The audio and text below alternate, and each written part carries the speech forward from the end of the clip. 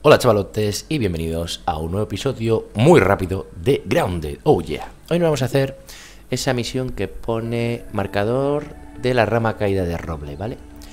Primera cosa que tenéis que saber, la rama caída de roble es esta y no está al lado del roble. Hay que venir a la casa.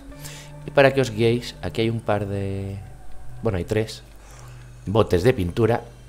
Pues hasta aquí, como lo veis.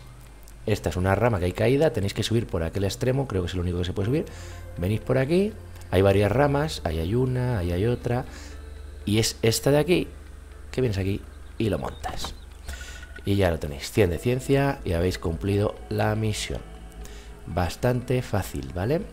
Lo único que tenéis que saber es eso, que la rama caída de roble no está cerca del roble, que es lo que me pasó a mí la primera vez que fui a buscarla, que me di mil vueltas alrededor del roble y no la encontraba, porque está aquí, cerca de la casa y como guía os diría las pinturas estas.